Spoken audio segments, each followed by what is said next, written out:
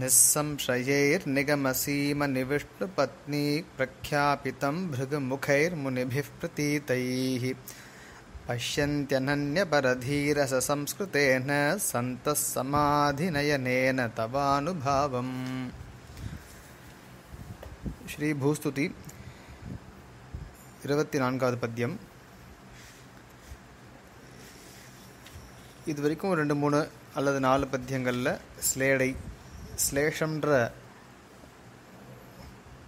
ஒரு கான்செப்டை யூஸ் பண்ணி பூமி பிராட்டிக்கும் நம்ம பார்க்கக்கூடிய பூமிக்கும் ரெண்டு பேருக்கும் அன்வயம் மாறா மாதிரி ஸ்லோகங்கள் பண்ணார். பட் இந்த இருபத்தி நாலாவது பத்தியத்தில் பூமி பிராட்டிக்கு பிரத்யேகமாக பண்ணியிருக்கார் அவருடைய மகிமையை வந்து எப்படி அறிய முடியுன்றதுக்காக அமைஞ்ச மாதிரி இருக்கு அந்த ஸ்லோகம். இருபத்தி ரெண்டாவது பத்தியத்திலே இதுக்கு ஒரு கியூ ஹிண்ட் ஒன்று கொடுத்தார். நிஷ்கண்டக பிரசமயோக நிஷேவனியாம்னு அங்கே சாதிச்சார். அதாவது இது சொல்லப்பட்ட குறிப்பு என்னன்னு கேட்டால் பிரம்மத்தை பற்றி தெரிஞ்சுக்கிறது நமக்கு சாஸ்திரம்தான் பிரமாணம். பிரத்யக்ஷத்தாலேயோ அனுமானத்தாலேயோ பண்ண முடியாது. பிரம்மம்னு சொன்னால் அதில் ஸ்ரீதேவி பூதேவியெல்லாம் சேர்த்துக்கலாம். சாஸ்திர கண்ணால் பார்த்தா தான் சாஸ்திரத்தில் விசுவாசம் இருந்து அந்த சாஸ்திரத்தில் சொல்லப்பட்ட அர்த்தங்களை யோக திசையில் சாட்சாத்காரம் பண்ணால் தான் தெரிஞ்சுக்க முடியும்ன்றது சுவாமியுடைய நிர்வாகம் இந்த ஸ்லோகத்தில். சாஸ்திரத்தில் விஸ்வாசம் இல்லாட்டி நமக்கு சந்தேகங்கள் ஏற்படலாம். ஸ்ரீதேவின்னு தனியாக இருக்கா பூதேவின்னு தனியாக இருக்கா நீலாதேவின்னு தனியாக இருக்கான்னு நமக்கு ஐயங்கள் வரலாம். ஆனால் ஸ்ருதி உபனிஷத் சொல்கிறது அதனால் நம்ம தத்துவங்கள்லாம் இருக்கோம் விஷ்ணு பத்னியும் மஹிம் தேவின்னு ஸ்ருதிகள் காண்பிக்கிறார் சுவாமி. அதனால் அப்படிப்பட்ட மகிமையுடைய உன்னை யோகிகள் தங்களுடைய யோக தசையில் சாட்சாத் கரிக்கின்றனர். அப்படின்னு இந்த பத்தியத்தில் விண்ணப்பிக்கிறார். இதில் சம்போதன பதம் போட்டிருக்கார் விஷ்ணு பத்னி இது வரைக்கும் வராக தைத்தேன்னு சொல்லியிருந்தார் இப்போ விஷ்ணு பத்னின்னு பதம் போட்டிருக்கார். பத்னின்றது தீர்க்கம் சப்தம் பத்னி அது ஹ்ரஸ்வம் விஷ்ணோஹோ பத்னி விஷ்ணு பத்னி கிரியாபதம் என்னன்னு பார்த்தா பஷ்யந்தி திருஷ் பஷ்னு சொல்லுவோம் தாத்து பார்த்தல் என்ற அர்த்தத்தில் உபயோகமாகுது டு சி அப்போ பஷ்யந்தின்றது ப்ளூரலில் இருக்குது திருத்தீயா திருத்தீய புருஷா பகுவச்சனம் பார்க்கிறார்கள் சீன் அர்த்தம் யாரும் கேட்ட சந்தகா அடிக்கடி சந்தகன்ற பதத்தை உபயோகப்படுத்துகிறார் ஏன்னா சாஸ்திரத்தில் நமக்கு ஆப்தால்னு சொல்லுவோம். ஆப்தா ஆப்தகா யாருன்னு கேட்டால் சிம்பிளாக சொல்லணும்னா நமக்கு ஒரு விஷயத்தை சொல்கிறதுனால அவளுக்கு எந்த விதமான ஹிடன் அஜெண்டாவும் கிடையாது. அப்படி அதாவது பூர்ணமாக ஞானம் இருக்கணும். அது மஸ்ட்டு பூர்ணமாக ஞானம் இருந்தும் ஒரு விஷயத்தை நமக்கு சொல்லச்சு. அவளுக்கு எந்த விதமாக அதில் லாபமும் இருக்கக்கூடாது. பர்சனல் கெயின் இருக்கக்கூடாது ஹிடன் அஜெண்டா இருக்கக்கூடாது. இப்போ அவள் சொன்னால் தான் நமக்கு அதில் நமக்கு விஸ்வாசம் ஏற்படுறது. இப்போ ஸ்ருதிகள்னால் விஷயம்னு சொன்னால் கூட நம்ம யோசித்து பார்த்தா நாதமுனி யாமுனாச்சாரியர் பாஷ்யக்காரர் தேசிகன் இவா அதை கொண்டாடுறதுனால தான் நமக்கு அதில் விஸ்வாசம் ஏற்படுறது. இல்லை நம்மளாக கொண்டு நம்ம அறிவினால் ஸ்ருதியை வாசிச்சோ இல்லை வந்து அध्यயனம் பண்ணியோ நம்மளால் அர்த்தத்தை கண்டுபிடிச்சி விஸ்வாசம் ஏற்படணும்னா கஷ்டமான காரியம்.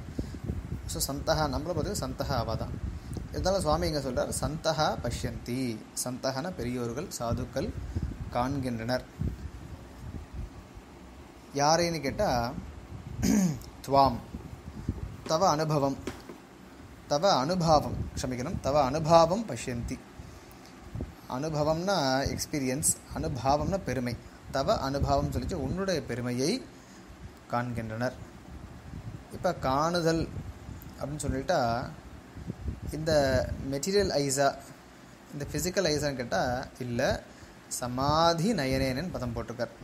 சமாதின்ற சப்தமானது யோகான்ற அர்த்தத்தில் இங்கே இருக்குது அதாவது பிரத்யக்ஷத்தை நம்ம ரெண்டாக பிரிக்கிறோம். ஒன்று வந்து இந்த பகிரிந்திய பிரத்யக்ஷம் பேர் இன்னொன்று யோகிக்க யோக பிரத்யக்ஷம் பேர். அது அந்த ஆந்தரியம் அது. அது உள்ளுக்குள்ளே ஏற்படக்கூடிய ஒரு பிரத்யக்ஷம். இந்த ஃபிசிக்கல் ஐஸ் பார்க்குறதில்ல. அதனால் சுவாமி இங்கே சமாதி நயனேன தவானுபாவம் பஷ்யந்தி. யோக கண்ணால் அதை கொண்டு உன்னுடைய பெருமையை காண்கின்றனர். எப்படிப்பட்ட எப்படி அவளால் காண முடியும் கேட்டால் அனன்யபர தீரச சம்ஸ்கிருதேனன்னு பதம் போட்டிருக்கார். அதாவது இது யோகாவில் ரொம்ப முக்கியம். ஒருநிலைப்படுத்தப்பட்ட அந்த தியானத்தால் காணப்பட வேண்டிய வஸ்து. பர பரனா டிவோட்டட்டுன்னு அர்த்தம். அந்நிய பரனா டிவோட்டட் டு அதர்ஸ் அனன்யபர ந அந்நியபர அனன்யபர வேறு ஒன்றையும் நாடாத வேறு ஒன்றிலும் ஈடுபடாத தீரசனா புத்தி தீனா புத்தி ஞானத்துக்கு பரியாயபதம் ரசம்னா சுவை.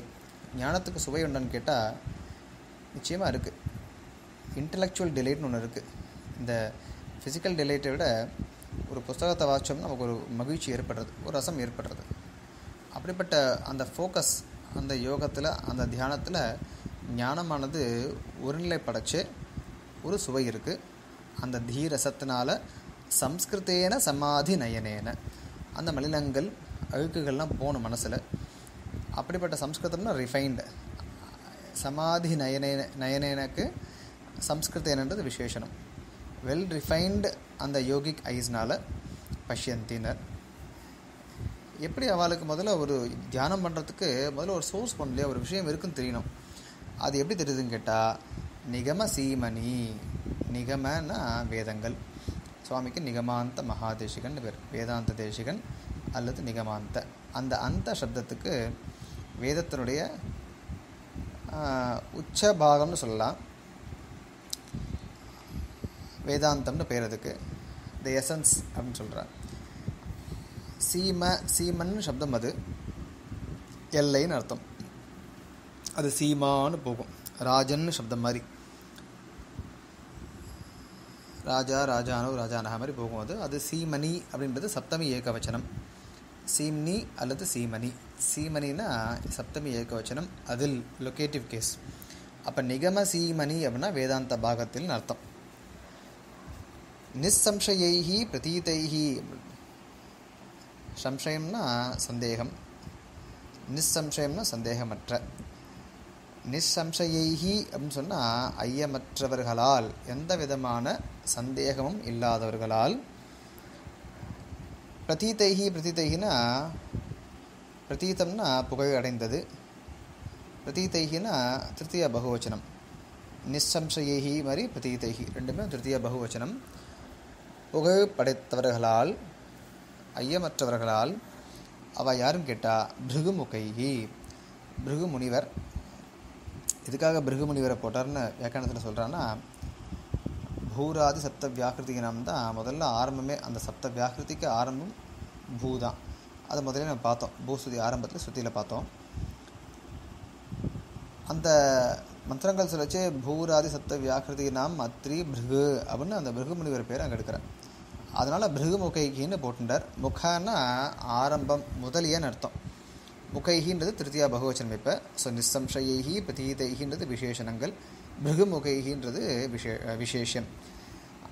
எந்த விதமான சந்தேகமற்ற புகழ்படைத்தவர்களான பிருகு முதலிய முனிபிகின்னு தனியாக பதம் போட்டுட்டார் அவர் முனிவர் முனி சப்தம் திருத்தியா பகுவச்சனம் முனிபிகி பிருகுமுகைகி முனிபிகி பிரக்யாபிதம் அவளால் பறைசாற்றப்பட்ட। அல்லது அந்த முனிவர்களால் பறைசாற்றப்பட்ட உன் உன்னுடைய பிரபாவத்தை பெருமையை யோகிகள் என்ன பண்ணுறா வேறொன்றையும் நாடாத தங்களுடைய ஆழ்ந்த தானத்தால் விளக்கப்பட்ட மலினங்களால் இருக்கக்கூடிய அந்த யோக கண்களால் உன்னை காண்கின்றனர். அப்படின்னு சாதிக்கிறார். அன்வயத்தை பார்த்தோம்னா விஷ்ணு பத்னி ஹே விஷ்ணு பத்னி சந்தா நிகமசீமன் நிசம்சயை பிரதீதை பிருகுமுகை முனிபிஹி பிரக்யாபிதம் தவானுபாவம் அனன்யபரதீரச சம்ஸ்கிருத்தேன சமாதி நயனேன பஷ்யந்தி. ஹே விஷ்ணுபத்னி எம்பெருமானுடைய மனைவியே சந்தகா பெரியோர்கள் நிகம அப்படின்னா வேதாந்த பாகத்தில் நிசம்சயைகி பிரதீதைகி எந்த விதமான ஐயம் அற்றவர்களாய். Who have who don't have even an iota of doubt அவர்களால் பிரதீதைகின்னா ஏன்னா புகழ் இருக்கணும். சொல்கிறவாளுக்கு புகழ் இல்லாட்டி சொல்கிற விஷயம் எடுபடாது.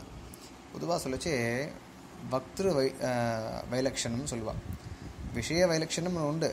படியின் மாதிரி விஞ்ஞாபிக்கிறத விட நல்லா இன்னும் ஃபேமஸாக இருக்கிற சொன்னால் இன்னும் சீக்கிரம் ரீச் இருக்கும் அதுக்கு. அதனால சுவாமி படம் பதம் போட்டார் பிரதீதைகி பிருகுமுகைஹி. புகழ் படைத்தவர்களான பிருகு முதலிய முனிபிகி முனிவர்களால் பிரக்யாபித்தம்ன பறைசாற்றப்பட்ட அல்லது விச் வாஸ் மேட் ஃபேமஸ் எது தவ அனுபாவம் உன்னுடைய பெருமையை அனன்யபரதீரச சம்ஸ்கிருதேன. வேறொன்றையும் நாடாத புத்தியினுடைய சுவையால் ஞானத்தினுடைய சுவையால் சீர்த திருத்தப்பெற்ற அப்படின்னா ரிஃபைன்டு சமாதி நயனேன அந்த யோகிக் விஷன். அந்த யோகமாகிய கண்ணால் பஷந்தி காண்கின்றனர் அப்படின்றது இந்த இருபத்தி நாலு பத்தியத்தினுடைய அர்த்தமாகுது.